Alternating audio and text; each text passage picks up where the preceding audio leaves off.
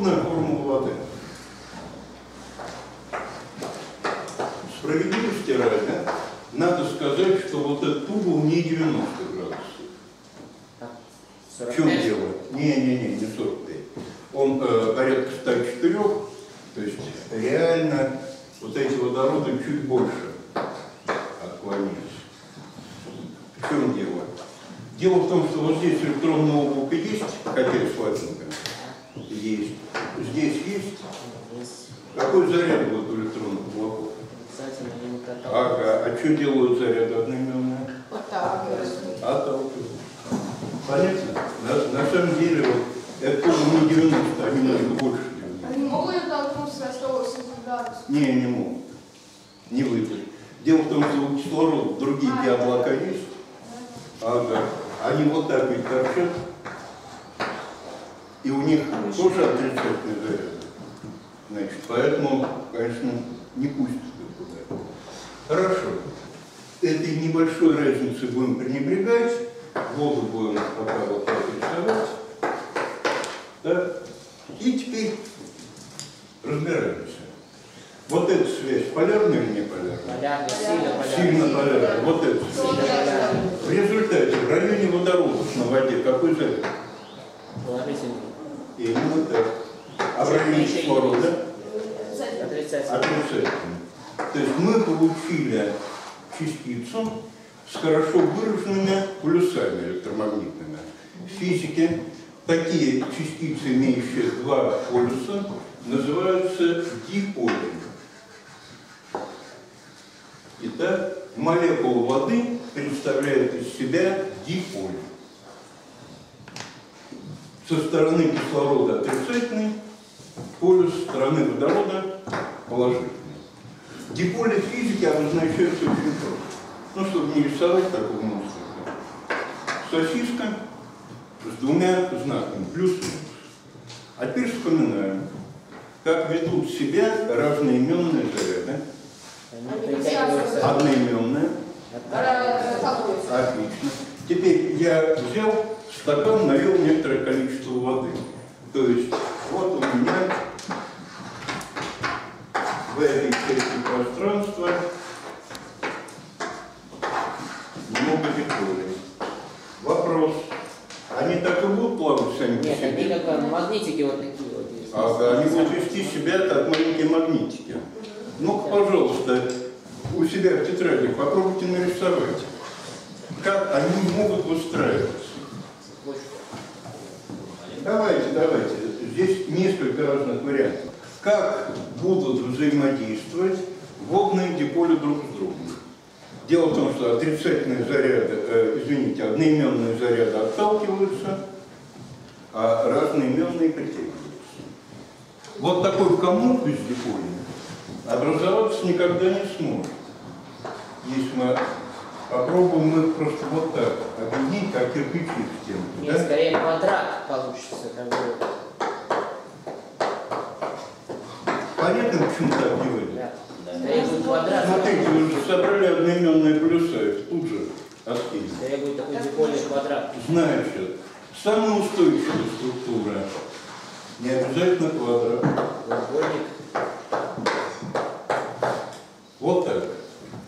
Смотрите, у нас притянулись друг к другу разноименные полюса. А одноименные рядом или далеко друг от друга? Далеко. Далеко. Устойчивая фигура? Да.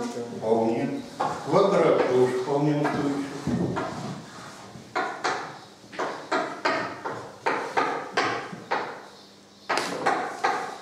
Пятиугольник. Вполне устойчив. Шестиугольник. Шестиугольник. А вот более там, крупные хороводы встречаются очень редко. И только при выполнении одного условия. В основном треугольники, квадратные пятиугольники. Да, да, да, вот в основном вот такие штуки. А больше никак. Сейчас разберемся, почему. Очень Мгм. А как с вашей точки зрения, молекулы вещества, из которых устроен весь наш мир, стоят на месте или двигаются? двигаются все время. Мгм. А остановить их можно? Движение остановилось. Хорошо. От чего зависит скорость этого движения? От температуры. На самом деле, если говорить всерьез, а температура – это и есть скорость движения молекул. То, что вы называете температурой, это и есть скорость движения молекул. Если молекулы идут быстро, скорость их велика, да? то значит это высокая температура да, тело нагрелось. Если молекулы замедляются, что с температурой? температура. Температура Значит, упала. есть самая низкая температура, Отлично. когда молекулы стоят. Именно так. Есть расчетная температура, достичь ее нельзя. Можно приближаться, ну вот в настоящее время подошли к этой температуре на несколько тысячных долей градусов, да, при которой молекула становится совсем. Впервые рассчитал эту температуру знаменитый британский ученый Лорд Кельвин. Абсолютный ноль. Абсолютный ноль по шкале Кельвина. Ниже температур не бывает. Молекул встали. Все. Кто знает, чему примерно равен абсолютный ноль в пересчете на привычную нам шкалу Цельсия? Минус 272. Да. 53. Там с десятками, конечно, сотни. Вот. А какая температура космоса вокруг нашей планеты? Примерно столько? Нет, почему? Минус Не, ну все-таки 200. плюс 6. Только плюс 6 не по шкале Цельсия, а по какой шкале? По шкале Кельвина, Фаренгейта. У Фаренгейта 0 это температура под мышкой. Конечно, по шкале Кельвина. С нашей точки зрения чудовищный холод. При этой температуре все газы в каком состоянии? Да. Сначала при понижении температуры все газы сначала переходят в жидкое состояние, а потом, ребят, ведь на самом деле что такое жидкость, твердое тело и газ? Просто замедленное состояние. Агрегатное состояние, что зависит? Это очень простая вещь. Скорость движения молекул. Конечно, от скорости движения составляющих частиц. У нас две частицы при низкой температуре. При низкой температуре какая у них скорость движения? Маленькая. маленькая. При низкой температуре две частицы вот так летели, летели и встретились. У этой частицы есть полюс, а у этой частицы здесь полюс. Они удержатся? Держится. Удержатся, температура низкая. Так? А если я разогрел тело, То значит, Они если я разогрел тело, что со скоростью движения? они, исчезнет? ну, значит, они Вы смотрят друг что на друга. будет? Они, Они просто- они просто- Они стол- столкнутся и разлетятся. Почему? Сила связи, которая возникла между плюсами, оказалась меньше, чем инерция движения у частиц. Поэтому, как по-вашему, при какой температуре вода будет образовывать большое количество вот таких хороводов, а при какой температуре они начнут разваливаться? ну, при температуре Чем ниже температура, тем больше э, часть воды переходит в вот такое связанное состояние. А при падении температуры ниже э, Да, 0 по Цельсию. градусов по Цельсию, так, основная масса воды переходит просто в вот такие вещи, которые выстраиваются упорядоченным образом, и мы говорим, что все, вода замерзла, во что превратился, превратился в лед. Отлично. а вот вода будет? Не понял? Ну, в смысле... э, Вот такого не Не, имею в виду вот самый коробка. Э, Вот это Да. и вот это, вот это треугольная композиция, вот это квадратная, шестиугольная, вокруг Если они никак не соединены, то это пар. Так. А вот теперь, а теперь э, представьте себе, что не все диполи перешли к хороводу. Не все. Остались бродячие. Если бродячий диполь имеет высокую скорость движения, а это значит, что он соответствует какой температуре? Высокой, да, мы нагрели, нагрели, и он летел, летел и со всей дури врезался вот в этот хоровод. Что будет с Он распадется. Распадется, при этом он подтолкнет остальных, Да. остальных подтолкнет. И все полетели в разные стороны. И начинают стыкаться в другие хороводы. Так? Разрушаются. разрушают. Именно так. Если мы нагреваем систему, то все меньше и меньше циклов остается в системе. все больше бродячих диполей. Да? А когда мы отводим тепло, забираем тепло из системы, То все больше да, переходит в здесь, порядочное очень состояние. Смотрите, диполи притянулись. А это что значит? А это значит, что между ними какая-то связь возникла. Вот в этих точках они как бы привязаны друг другу. Ну и как ее назвать? Это ковалентная связь, которая не отпускает диполи друг от друга, или нет? Электростатическая связь. Да. Понятно, что это не ковалентная. Нет. Да. А почему не ковалентная? Чего нет? Общие 3D. Общие. Нет общей электронной пары между этими диполями. Это ясно? Конечно, связь не ковалентная. Может быть, это ионная связь? Нет. Нет. Никто не терял электрон, и никто не получил новые электроны. Вот такая связь в химии будет называться водородная связь. Последний, третий тип химической связи. Водородная связь возникает между участками поля- полярных ковалентных связей, полярных ковалентных связей разных молекул. Полярных ковалентных связей разных молекул. А вот сейчас мы с вами разберемся с очень важной, чисто в бытовом смысле темой, какие же вещества растворяются в воде, а заодно, что такое растворение. Глицерол, который мы уже с вами писали, а второе вещество вы отлично знаете. Это полиэтилен.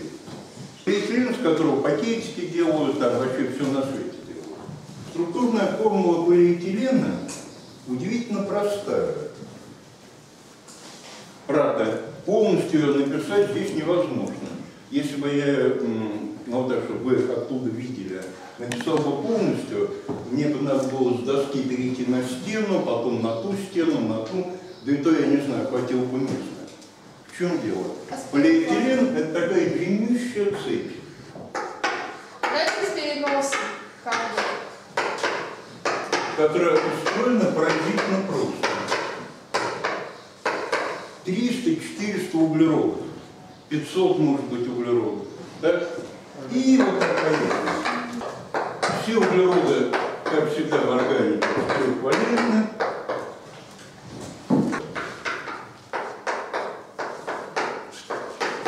Ну, остальные мне писать потому что дальше ничего не меняется. Да, с самого конца все будет совершенно одинаково. Единственное отличие, единственное отличие вот здесь. Обратите внимание, в конце, в конце конечная группировка, к этому углероду присоединено два водорода или другое количество? Три. Так? Хорошо. А весь остальной состоит из бесконечного повторения вот этой группы CH2. CH2 сшитые друг с другом, и вот такая лента длиннейшая. Вот вам полиэтилен. Ну вот, напоминаю глицерол.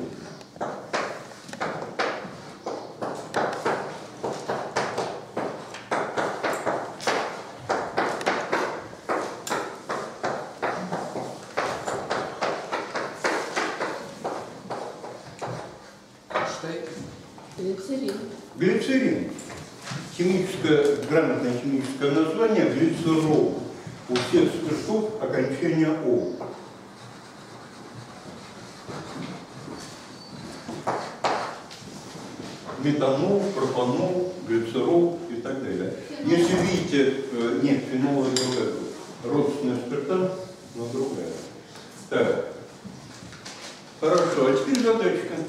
Вот она структурная формула. Давайте-ка по структурной формуле прикиньте, какое вещество будет растворяться в воде и почему, а какое не будет. Что такое растворение? Водные диполя притягивают молекулы вещества, отрывают его от общего скопления и утягивают с собой в полет. Итак, прошу. Мне кажется, что глицерол будет, а глинол не будет. Ага. Видите, в доске возьмите его, покажите, в каких местах глицеролов могут притянуться водные диполи? Вот здесь. Да. Да. Совершенно верно. То есть на самом деле, как только он попал в воду, картинка будет выглядеть вот так.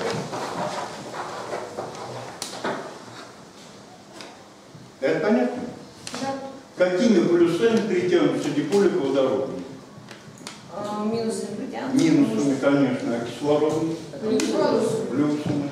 В результате эта молекула оказалась покрыта буквально с одной стороны притянувшимися молекулами воды. А вот это, Нет, Нет, нет. Слабые полюса. а теперь внимание, подумать немножко. При каком условии полиэтилен начнет растворяться в воде? Очень высокой температуре. Конечно. Если мы воду нагрели, да, значит, на самом деле это будет немножко другое явление. Вода э, не будет притягиваться. Она будет просто из-за скорости движения рвать эти связи, разбивать. Ребят, вода с высокой температурой, обладающая высокой температурой, это не просто растворитель, это адский растворитель. Дело в том, что температура кипения воды зависит от давления. А как по-вашему, если вы нырнули под воду, да, что будет с давлением на ваше тело? Будет возрастать. А как быстро оно будет возрастать? Углубление. Вот смотрите, э, понимаете, что 100 километров атмосферы. Как по-вашему, на вас она или нет? Да. Да. С какой силой? 160. На каждый квадратный сантиметр вашего тела давление равно одному килограмму. Поскольку э, площадь поверхности вашего тела порядка двух квадратных метров, если не лень, можете посчитать, с какой силой воздух давит на вас. Наше тело на мы этого не замечаем. А вот если ныряете в воду, да, вот такое давление, с которой атмосфера Земли на вас давит, так называется атмосферное давление или одна атмосфера. А вот вода значительно более среда, э, более плотная среда. И если вы нырнули всего на 10 метров в глубину, давление возрастет на целую дополнительную атмосферу. На ту же величину, на которой 100 километров воздуха дает. Так? Хорошо. На глубине километра какое дополнительное давление будет? Еще, еще 100 атмосфер добавим. 100 атмосфер дополнительно. Так вот, ну и как по-вашему, при повышении давления вода начинает кипеть при все более высокой высокой температуре. 100 градусов не хватает. Если воду сжимать, так, точка кипения сдвигается. И на дне океана, если вы попробовали вскипятить котелочек воды, вам надо было бы его нагреть градусов до 400. Потому что при 200, при 300 градусах вода останется жидкой, она кипеть не будет. Так вот, поэтому, когда такой сверхкипяток пробивается сквозь горные породы на дне океана, он по дороге растворяет скалы. В наших условиях поверхности Земли вода не может растворять камни. А вот этот сверхкипяток нормально растворяет горные минералы. И вырываясь из такой геотермали, да, обогащает растворенными солями, которые, правда, тут же, конечно, выпадают в осадок, окружающие океанические воды. В местах прорыва таких геотермалей возникают совершенно фантастические очаги жизни. Называют их черные курильщики. В этих местах совершенно безлюдном океане, абсолютно безжизненная пустыня на глубине больше 4 километров, очаг такого многообразия жизни. Креветки, раки, кальмары сидят друг на друге в несколько этажей, буквально сбиваясь. Те, что там живут глубоко, Знаете. наплевать на то, что там наверху происходит. Абсолютно. Вот это независимое, независимое сообщество, да, Тем они все питаются. А дело в том, что в этом сверхкипятке, как это ни странно, живут живые организмы. Есть бактерии, которые нормально живут при температуре плюс 107 градусов. Если температура э, падает до плюс 102, они начинают дохнуть. Догадайтесь, чего? Конечно, они замерзают. 102 градуса для них слишком холодно. Они просто мерзнут. Так что точка кипения воды зависит от давления. Хорошо, а если я снижаю давление, то при какой температуре вода вскипит? 36 и 6. Ну так я э, скажите, в горах давление такое же, как э, и... Нет. Нет. Нет, выше или ниже? Ниже. Ниже, конечно, вы уменьшили стол воздуха, вы же поднялись вверх, да? Хорошо. Как по-вашему, можно ли сварить суп, ну, где-нибудь на Эвересте? Нет. А почему? Вода очень быстро вскипит. Она не скипит. Она не- А, Она скипит, но просто будет... А, нет, можно там специальные приспособления такие есть, крышка накрывает. ну. Нет, нет, вот в открытой кастрюле. В автоплаве, да, можно. Вода там очень быстро вскипит просто. Нет, Что значит быстро? Она испарится. Да, ребят, дело в том, что она закипеть не при 100 градусах, Да. а при 86. А при этой температуре мясо сварится, Нет. а оно останется сырым. Картошка сварится, Нет. останется сырой. То есть у вас вовсю кипит кастрюля, да?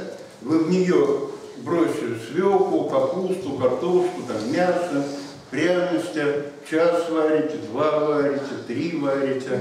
пробуете, а все сырое. Хотя вода кипит. Почему? Низкое давление. На самом деле, если очень глубоко снижать давление, то вода может закипеть при комнатной температуре. Вот. Есть такие видео совершенно дивные, когда проверяют костюмы э, скафандры для космонавтов. Проверку ведут в наземных барокамерах. Ну, такая большая металлическая коробка, куда человек в скафандре залезает, из нее откачивают воздух. Ну, потому что вверху-то вакуум, проверяют, хорошо ли скафандр держит. Вот. И есть хорошенькое э, видео, когда мужик проверяет скафандр, у него столик внутри барокамеры, а на столике стоит стакан с водой. И показывают шкалу манометра, какое давление в камере. Ну и при достижении очень низкого давления, что в этом стакане начинает появляются. Вода закипает. Она просто нормально кипит. Почему? Давление стало настолько низкое, что вода закипела при 20 градусах. И вот теперь еще два важнейших слоя. Теперь э, к тому, что написано на доске.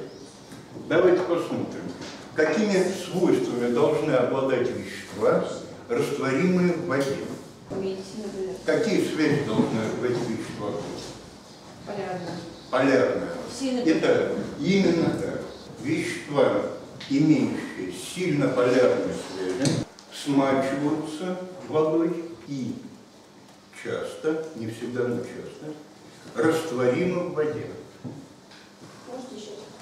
Вещества, имеющие сильно полярные связи, смачиваются водой и часто растворимы в воде. Всю эту компанию называют гидрофильные вещества. Гидро – вода, филум – любовь. Вещества, любящие воду. Гидрофильные. А вещества, у которых нет сильно полярных связей, будут ли они взаимодействовать с водой? Нет. Нет. Например, жир, например, пластмасса. Такие вещества будут называться гидрофобные вещества. Боящиеся воды. Да. Гидрофобные. Например, жир, воск, пластмасса. Так вот, а можно ли в чем-нибудь растворить гидрофобные вещества? В кислоте. Кислоте. Нет, в кислоте не выйдет. Соли. Нет, и в солях не выйдет, конечно. Для растворения гидрофобных веществ используют органические растворители, органические жидкости. Да многие из них вы знаете. Бензин, спирт, эфир, ацетон. Вот эти жидкости хорошо растворяют как раз гидрофобные вещества. Поэтому, если вы посадили пятно масляной краской, краской на основе жиров, Имеет ли смысл э, пытаться его обстирать в стиральной машине? Нет, лучше спиртом налить. Вот э, лучше всего для масляной краски не спирт, а бензин. А еще лучше очищенный керосин, который продается сейчас в бытовых магазинах под названием white спирт. Белый спирт. Это никакой не спирт, это очищенный керосин. Это могучий растворитель, который выведет все пятна от масляной краски, но учтите, он попутно выведет, э, растворит все краски на ткани. У вас останется такое симпатичное белое пятно в этом месте, без всякой... Можно, короче, все представлять, чтобы вся белая стала. Ну, ну,